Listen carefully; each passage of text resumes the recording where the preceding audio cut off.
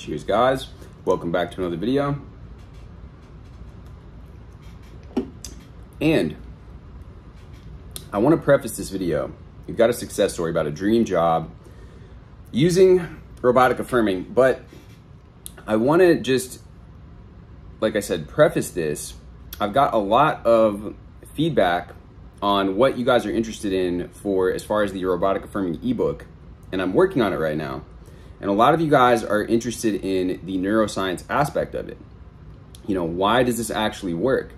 And so as I'm writing this right now and doing going into the, you know, I, I, I already know this stuff, but I'm just going back through for my own research just to make sure I have the exact, you know, data to present to you guys because I know that that the logical mind wants that proof. It wants that knowing to know that this isn't just woo woo, mumbo jumbo, and I get that completely.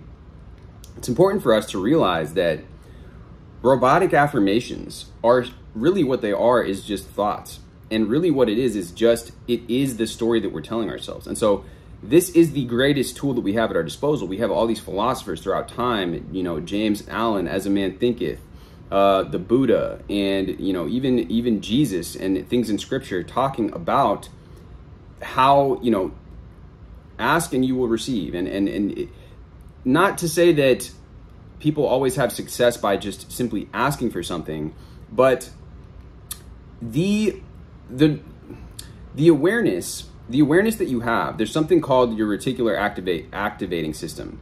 And it's it's a bun- bunch of neurons in the brain but essentially what it does it is responsible for what you are paying attention to as well as different parts of um, different states of awareness. That's why we talk about you know getting into that hypnotic trance-like state the alpha level of mind the state akin to sleep that is allowing your, your yourself to be more suggestible.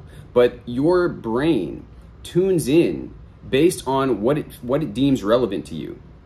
So if you are coming from the mindset that oh i'm never going to have this sp or i'm never going to have this this job or, or i'm unlucky or whatever you're not even going to be tuning into those potentials and those those things will either not present themselves in your reality or they'll be there but you won't notice them and so it's very very at the it, it's such a foundational thing and that's why you know this channel, um, a, a, lot of this, the videos that we've been talking about is this because essentially it's just about your thoughts. It's about what thoughts are you allowing yourself to entertain on a moment to moment basis. Because when you begin to affirm, now you're beginning to insert the thoughts that you're choosing instead of just reacting continually to the external environment because that is what takes away your power. What gives you your power is your ability to declare, to assert, to affirm. That is what affirming means to assert that something is true for you or for the world around you. And the more that you do this, you know, you, it's it's it's inarguable that anybody that's achieving anything that is I mean, just I, I always think about Elon Musk, for example, right? The guy is sending rockets off into space, right? If he was entertaining thoughts that he is incapable of doing that, it wouldn't be happening, right? And that goes for anything at any level, at any scale. But if he's able to do this, if he's able to achieve, and obviously he was, he's been blessed and gifted and extremely intelligent, as are many people that we see and we, we look up to and we think, wow, you know, how have they been able to achieve this? But a lot of it goes back into what they allow themselves to believe. What it, what is the story that they're telling themselves? Because, you know, if you if you go in and really analyze um, somebody's somebody's innate talents, innate capabilities, a lot of us have them. We're just not allowing ourselves to tap into them because we have we're harboring these beliefs, these old stories that are not serving us. Anyways, guys, I don't want to go on too much of a tangent there. I'm just inspired to talk about, I suppose, you know, the, the loops of how the thoughts affect your emotional state, affect your feeling state. And then we get caught up in this cycle because now our feelings are affecting our emotional emotional state. The body and mind are inextricably linked, right? And that's why I like to take this holistic approach.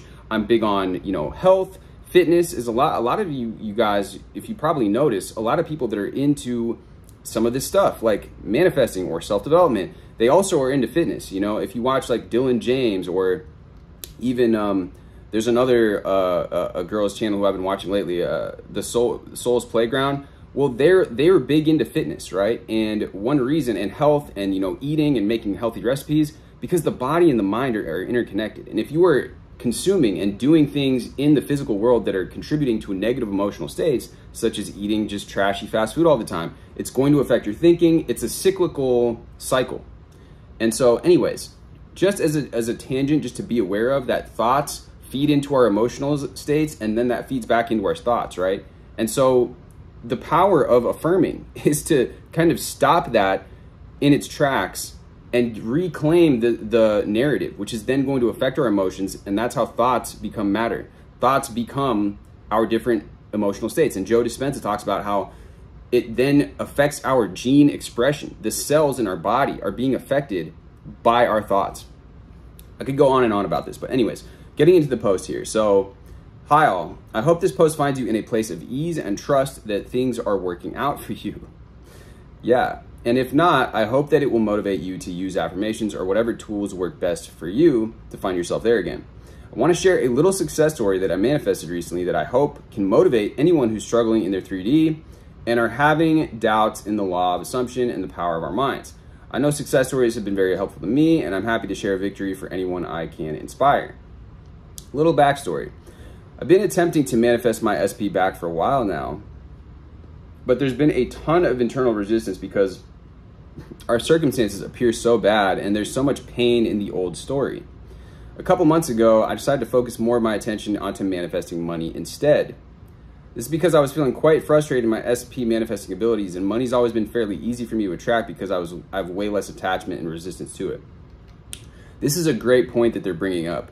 If you guys are struggling with one particular area, and a lot of the times, you know, this this can be a, a huge hurdle, especially when there's like, yeah, all this um as they mentioned here, there's this backlog, this history there. There's there's a there's a there's stuff there, right? It's really good sometimes to put your attention on something where you can get a win, right? And there's this this whole phenomenon that exists. It's like the winner effect. The more that you can begin to stack wins in your favor, the more that internal knowing, that internal confidence, that internal belief in yourself is going to come to the forefront and you're going to be able to allow yourself to feel that ability for other things that may be bigger or maybe harder to manifest or harder for you to kind of get into that believing state or, or harder to achieve.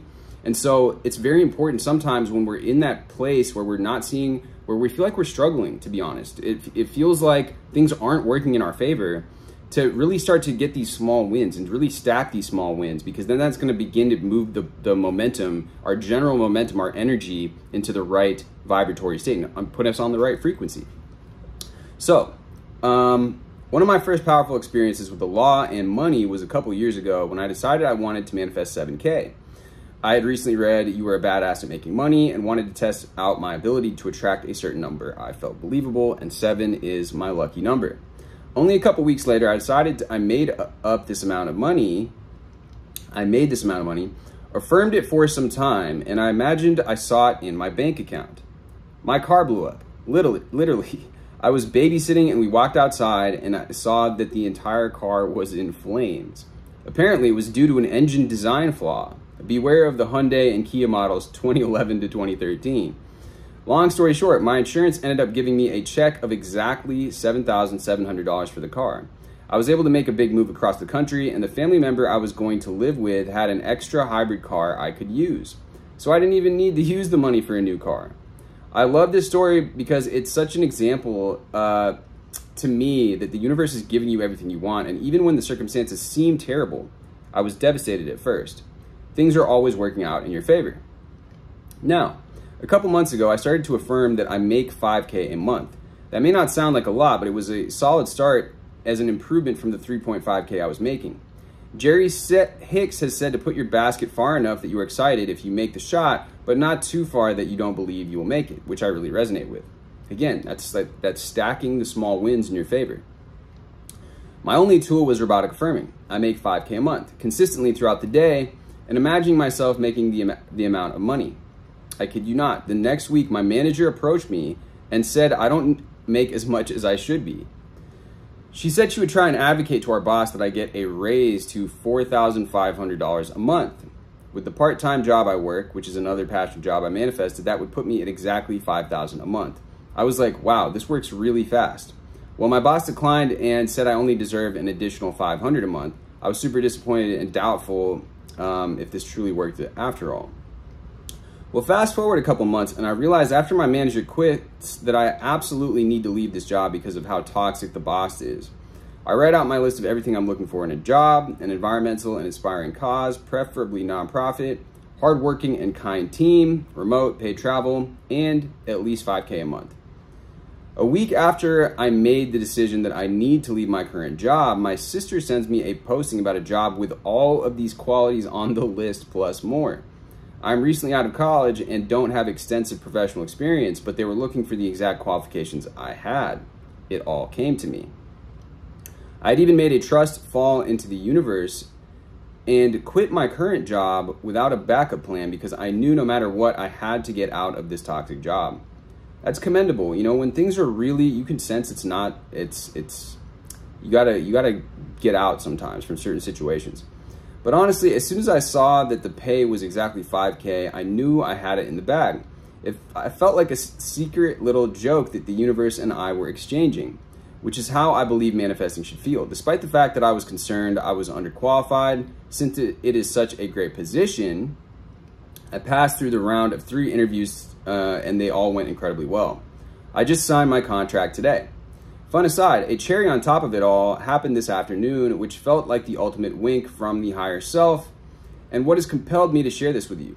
Since I've manifested the offer for this job, I've been so impressed by my own power that I've been keeping my mental diet clean, clean as possible. We aren't perfect, and it takes repetition to change old neural pathways. Exactly, this is exactly what's going on. You're like pruning away those old pathways, and by like affirming and thinking of the new thoughts, which again is is getting your focus. Your RAS is now focusing on what you want it to. It's beginning to shift that story.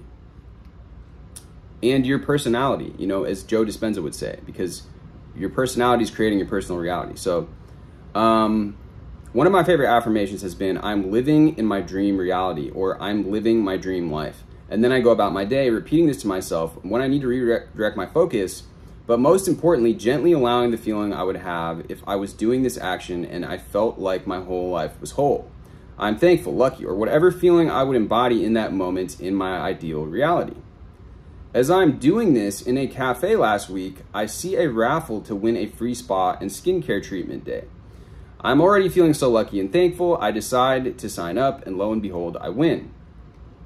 After the amazing and fun skincare treatment this afternoon, the woman pa passes out to each of us cards of affirmation. She says, Now we have just pampered you physically, but I know the importance of taking care of your mind and the power of thoughts in changing our lives.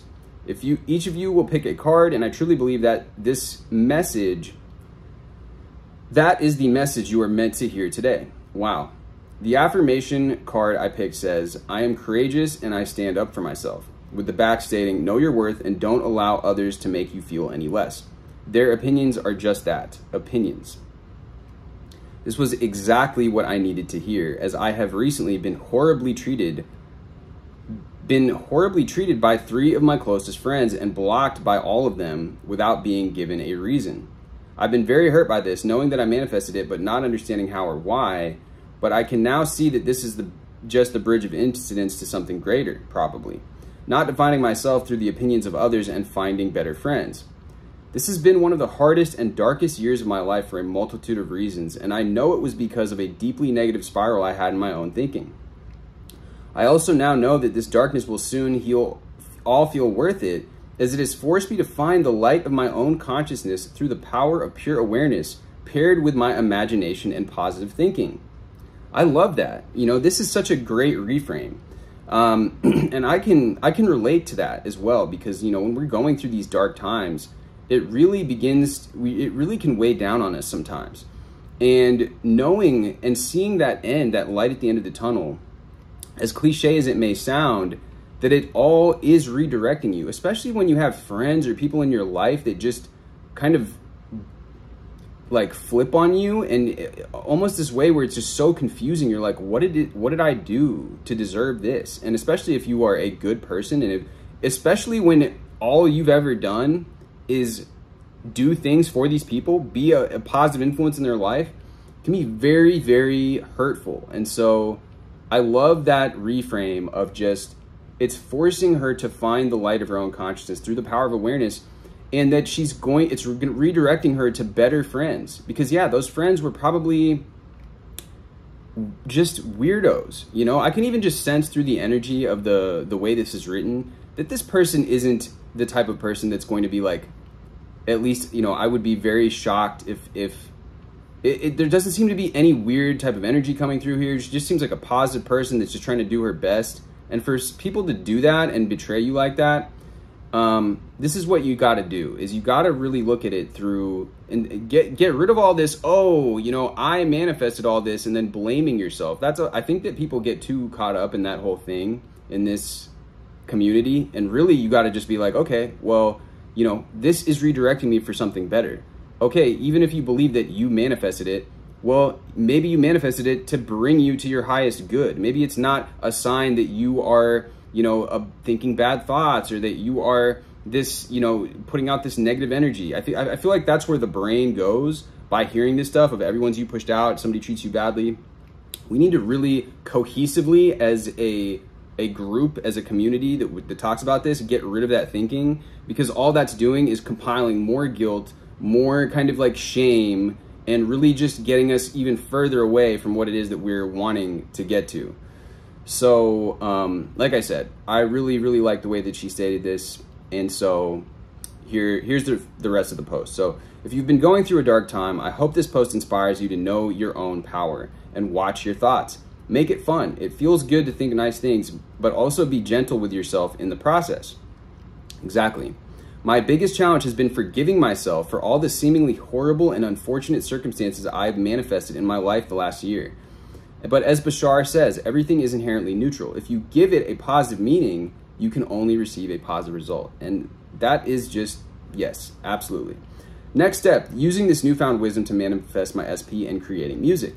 As a kid, I remember telling my dad, I know the universe is speaking to me because it was so easy and fun for me to read the signs it was using to communicate to me about my questions and desires. I know now that it was and is me speaking to me. As Neville says, there's only I am, and your infinite self is that I am. Okay, so from you to you, from me to me, and me to me, you got this, and you will receive your desires. Yeah, um, I just want to point out that while that's all well and good, and you can you can have this perspective if that if that helps you, um, I think this non-dualism and all this stuff that can be great if you're looking for some sort of spiritual enlightenment or something, but I really don't I really don't personally resonate with that. I think that we are co-creating our reality and I think that yeah, while God source energy is permeating throughout everything and so on one hand you can look at it like that. I don't think that that's really helpful for uh, achieving your desires, for manifesting your goals because it it just doesn't resonate with me personally. So feel free to either take or leave what resonates with you. And that's what I would suggest all of you do because certain things that I read that I come across doesn't resonate with me, and I I leave it at that. I'm I, I I've become more and more like this, where I'm just like, okay, I like all the rest of this post, don't really feel with like vibe with that right now, and at this point, and so that's all well and good. But the last sentence, life is meant to be fun. I hope you can have fun with it all too. And I'll just add on that the reason that this doesn't like I don't think this is helpful is because as soon as you start believing, oh yeah, everything is me and everything is like, you know, that's again getting yourself into this place where for me personally what what my mind tends to do is as soon as bad things are happening i'm like blaming myself or i'm like uh oh yeah like how did i cause like you know this negative thing that's happening in my circumstances or even negative things happening around the world. It's like if you really take this to its logical conclusion, all these terrible things, it's like I'm the cause of this. It makes you feel like crap. So why do that? Why not just adopt the idea? And I really think this is more close to the truth anyways, that we're all co-creating our reality here. I'm having an impact and and quantum physics really is proving this as well that look, we're all walking around, we're like these black holes and these white holes Nassim Haramein talks about this. He's a quantum physicist, talks about the toroidal fields. And my energy, I'm picking up on other people's energies and I'm also putting out my energy into the universe. So if you're in a negative environment, let's say that you're in a like in a house with everybody that's doing like meth or something well, you're going to be picked, picking up on those vibrations. It's not like you created all that, all those people doing that. Or if you go into a homeless shelter, or if you go down Skid Row in LA, it's not like you are the cause of these people's situations. Like that is just insane, in my opinion, to, to be thinking like that and completely delusional. What is helpful is to know that you, by going and entering into any area, you can emit positive energy. You can go and have a positive impact. If you choose, you can go and pass out, you know, food for the homeless, or you can do something that will positively impact, impact these people's lives if you choose to. But you can also just choose to get into a better environment, an environment where you are actually going to be receiving um, positivity as well because that's going to help you the better the better that you can get in, in alignment with other people that are on a positive frequency and the more that you can surround yourself with good energies it's going to be way, way easier for you to maintain this positive energetic state. It's really not helpful for us to be looking at things like, oh yeah, you know, everything all the time is me pushed out because you're just you're just caught caught up in this mental loop of like, oh, what am I doing to cause this? It's like it's completely not helpful. And I like completely just understand how how little that serves you for accomplishing your goals. When you are focused on what you want to affirm, the energy that you're putting out, you see something negative happen, you're like, okay, well, maybe it's redirecting me to this. You don't dwell on why these things are happening, how you created them, if you created them in the first place, because a lot of the times I don't think you did, okay? You can feel free to disagree with me if you want.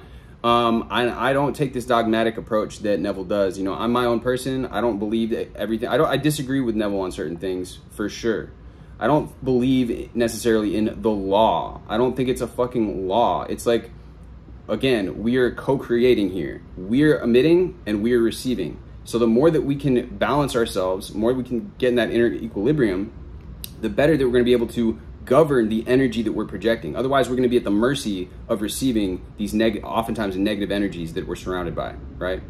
That's what makes sense to me. That's how I operate. And that has served me much more than continually looking at how and why I created some sort of negative event. It's completely useless to think like that. In fact, it's counterproductive to achieving what it is that you want. Anyways, um, I know a bit of a tangent here, but let's just read this a couple uh, a couple uh, comments here. When you robotically affirm, were you focused on thinking your affirmations or was it mindless? And could you be thinking about something else? And then they also asked about why not robotically affirm the SP. So the OP says, I've done both. When I was in a pretty dark place earlier this year, I bought a self concept course so that I could have a reboot on how I see myself. Perhaps it isn't necessary to manifest your desires, but see our ultimate manifestation as who we create ourselves to be and perceive ourselves in the world and I wanted that as a foundation. I would repeat affirmations each morning and night with state statements such as, I deeply trust myself no matter what. I claim myself over any 3D circumstances. I would repeat these and then gently allow the feeling of what it would feel like if I truly believed these to be true without forcing anything. Throughout the day, I'd also robotically repeat specifically specific affirmations to myself of what I want to create or manifest. Honestly, I truly believe that feeling is the secret, but robotically affirming is fun to me and allows the feeling to naturally come over time. We're thinking millions, billions of thoughts a day, so why not think in terms of what we want to create? I repeat them to myself, acting as if I already have the desire with a confident and lighthearted tone in my head. I sometimes find I can make it feel more in a state of lack if my tone in my head feels desperate. Yeah. I do it whenever I want to and again, I, I believe strongly that when we're constantly looking at, oh, how did I create this? That's getting us into this, it's taking us off balance. we're losing our inner equilibrium. Um, I do it whenever I want to go to as I go about my day to day activities. I see continual robotic affirming as a way to prime my subconscious mind. Another way to think about this too is like, what thoughts serve me? We all have, we always have a, the power to focus on what serves us. Even if something might be true or there might be some truth in it, really the, the best way that we benefit is by focusing only on what is empowering us and only what is taking us closer to our goals, right? That's another way of thinking about this. And I think a lot of people that achieve success, they really do do that. They're always thinking, and they they entertain a story of like, okay, well, yeah, well, this person's just not ready. This person's just insecure. You know, the SP. They're not thinking, oh, how did I cause this? Blah blah blah. It's, no, that's completely unhelpful to think like that. What is helpful is to keep emitting this positive energy that you're putting out you know that you're a genuine person. You know that you're authentic. You know that you are worthy of love and appreciation. And you've seen it in other areas of your life, right? You, you, you have good friendships. You've had experiences or histories in your past that you can um, draw from to say, hey, look, I know I'm a good person. If this person doesn't see it, that's their loss. That is a much more empowering frame of reference to come from. Anyways, um, I see continual robotic affirming as a way to prime my subconscious. That's a, another good term that is, you know, it's a psychology term. We're priming by, by going, there's a book called Persuasion by Robert Cialdini, and then there's one called Pre-Suasion. And pre-suasion is all about what we're primed for going into any situation. It's that um, we're priming our subconscious by doing these robotic affirmations. Because it is difficult for me to force the feeling when I have a lot of resistance, although I definitely think SATS is the most powerful tool. One of the few times I did SATS with my SP, I imagined both of us sitting in the labyrinth at the center of my hometown because it was easy and less painful to just imagine seeing him somewhere. That was all a very spiritual and peaceful moment. I kid you not, a week later, I forget all about this imaginal act and suddenly feel called to go to my hometown's labyrinth to sit and read. There he is, sitting at the opposite side of it, exactly how I imagined. Trust me, I definitely do robotically affirm for my SP. However, if I'm being honest, I know that I still have a lot of negative thoughts throughout the day as well because of all the pain. It's just a gradual practice of flipping them to what I want to create instead. Sweet. Yeah, um, great post. For the most part, I love um, the, the majority of it. It's just that I have that beef with that one kind of idea that I've already kind of beat to death in this video. So we're not going to hash it out again, but um, I'm just looking to see these comments here. Yeah, a great, great little post, and um, we'll leave it at that. that being said, guys, much love as always. Drop this video with a like. Let me know your thoughts down below. Hit me with a subscribe, and I will see you guys in the next video.